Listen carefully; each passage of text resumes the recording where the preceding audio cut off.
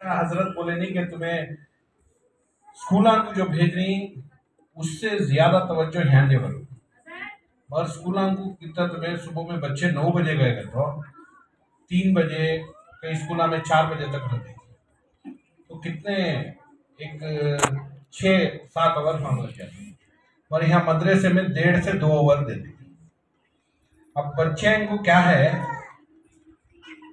जो स्कूल को जाती उससे आगे चल को उनके बीवी बच्चों को भाई को बच्चे उनके बच्चों को तजुर्बा देने के वास्ते उनको अब मर्द बच्चे कमाने जाती।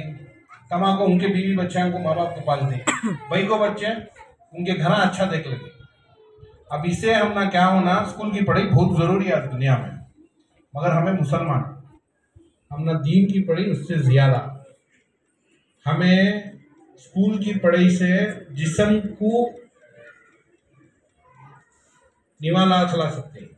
और हमारी रूह को दीन की पढ़ाई बहुत ज़रूरी है। और हज़रत बोले सका, बड़े छोटे का, सही गलत का। अब मोहल्ले में आपे लोग देख रहे हैं कि कितने नई नई सब कामान चल रही टैबलेट करते गांजा करते ये करते कि वो इलम कम है, अल्लाह का डर नहीं है। दीनी इलम की बात कर रहा हूँ। दीनी इलम से अल्लाह का डर आता सो हमारी रूह पाक होती है। सब माँ बाप कितने खुश नसीब रहेंगे। आज ऐसा हो गया, खुराना हज़रत अंगुबला को पढ़ाती हज़रत दो कुरान पढ़ लो, शाबान आ गई बखशना उसका हदिया दिया। मगर खुद के बच्चे पढ़को वालिद, वालिदा इंतकाल हो गई उनको खुद के बच्चे बख्शे दो उससे बड़े खुशनसीब माँ बाप ही और बच्चे खेलने की उम्र खेलती, अभी उनको समझ नहीं। अब माँ बाप हर चीज़ जानती, दुनिया में ये अंग्रेज़ी पढ़ाई से रंधे, दीन की पढ़ाई से रंधे, हमारा क्या नुकसान हो को है, जो पढ़को नहीं, उनके बारे में बोलो।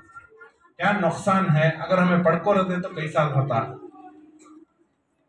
आज मैं दो दो भी बोल रहा हूँ। अंग्रेज़ी पढ़ाई भी ज़रूरी है और दीन की पढ़ाई उससे भी ज़रूरी ज़रूरी है आज हज़रत मेरे से कम उम्र। हज़रत मेरे से कम उम्र। मगर कहाँ भी एक स्टेज प्रोग्राम हुआ बोले तो हज़रत को स्टेज पर बिठाती। अल्लाह का शुक्र अदा करता हूँ। दौलत से दौलत में भी हज़रत से ज़्यादा हूँ उम्र में भी ज़्यादा हो गई। मगर कोई फ़ंक्शन चले चाहे एमएलए हो एमपी हो जो पढ़े लिखे आदमिया ही अगर दीनी फ़ंक्शन चले तो आलिमां को नीचे नहीं बैठाते शेष को बैठाते। हम ना अल्लाह दौलत उम्र ज़्यादा देखो रहा तभी हमें नीचे बैठे। तो सोचो इलम की ताकत क्या है? और वो हिसाब से अंग्रेज़ी पढ़ाई में भी इंजीनियर है डॉक्टर है इंस्पेक्टर है एसीपी है हमारे से कम उम्र वाला रहा तो भी हमें हाथ जोड़ लेते क्या होती है? सर इध माड़ी सर अद माड़ी सर। वहाँ दौलत भी चलती नहीं उम्र भी चलती नहीं। इलम के सामने क्या भी चलता नहीं। इलम की दौलत सबसे बड़ी दौलत है। अब क्या है? बच्चे कम उम्र। उन्होंने ना समझ रहती खेल कूद में उनको ज़्यादा इंटरेस्ट होता है टीवी में ज़्यादा इंटरेस्ट होता है सब होता है।